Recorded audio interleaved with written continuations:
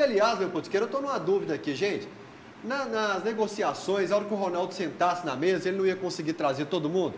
Quando falou até de aeroporto aqui, o jogador para buscar no aeroporto ano passado, listaram o Thiago Ribeiro, um monte de atleta. Agora, os jogadores que a gente nunca ouviu falar, o Ronaldo senta na mesa, aí o Riquelme liga e fala assim: não, eu te dou um autógrafo, porque o cara prefere o Riquelme que o Ronaldo.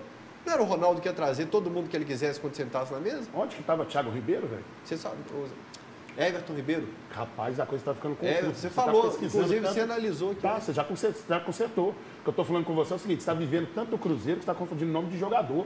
Você falou assim, como é que é esse? E aquele outro lá? Como é que tá a negociação? Me passa depois o contato da sua fonte no Cruzeiro, que eu tô precisando de umas informações. Ele tá acompanhando mesmo. Tá mesmo, velho. Tá, e, Não, e o mais engraçado disso, mais engraçado disso, ele tava vendo ontem a parada lá, quando o Toledo falou assim, mano, tem jogo do Cruzeiro rolando. Ele ligou na hora e ficou assim, vamos meu Cruzeiro para esse 2 a 2 Agora, completando só mesmo essa condição, vai ser absolutamente normal você ver isso hoje quando os clubes virarem SAF clube que está precisando ser saneado financeiramente, ele não vai entrar em negociação. Não vai entrar em leilão, desculpa, em leilão, com nenhum time. Se ele quiser comprar o jogador, ele faz a proposta, está lá, pode até emitir passagem para o jogador vir, etc. Na hora que chegar na hora do vamos ver, o jogador chega, e isso existe muito no futebol. Chegar assim, ó, fulano de lá me deu X mais 2. Sabe o que a SAF vai fazer?